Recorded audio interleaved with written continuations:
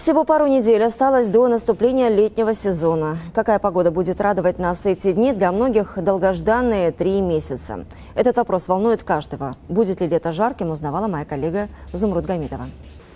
Первый летний месяц редко бывает очень жарким. Этот год не станет исключением. Температура воздуха в июне, по прогнозам гидромедцентра, будет умеренной. Средняя температура достигнет 25 градусов. Пик самых жарких дней придется на июль. Однако без аномалий. В целом лето ничем не будет отличаться от многолетней климатической нормы. Осадков за три летних месяца выпадет мало, зато температура будет повышаться до 40 градусов. Но это не говорит, что дождей не будет совсем. Умеренные осадки не доставят большого дискомфорта.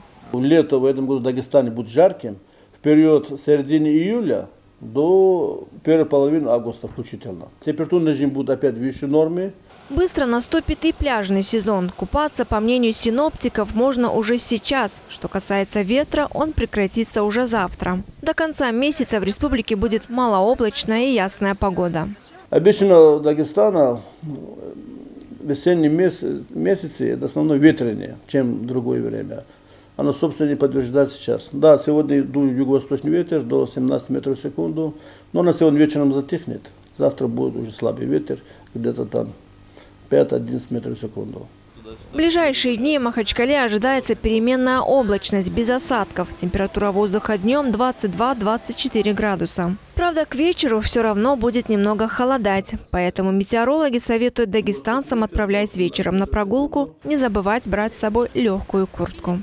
Зумруд Гамидова, Гаджи Магомедов, телеканал ННТ, Махачкала.